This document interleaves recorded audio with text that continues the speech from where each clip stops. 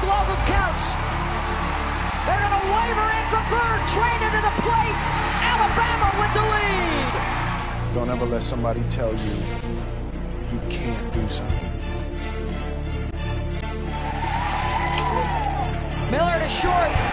Larsen to first. Jackie Traina gets the win and scores the winning run. And a 1 0 victory over Stanford. You got a dream, you got to protect it. And that is laced for a clean hit down the left field line. 1 0 Bama. What a play by Kayla Braud. Freshman Traina and the senior Dunne combine on a one-hit shutout of Cal. You want something, go get it. Period. Hunt lines that one up the middle. Shelton bottles it, and that allows Locke to come around from second and score Bama's third run of the game. All comes down to today. Inch by inch, play by play, till we're finished.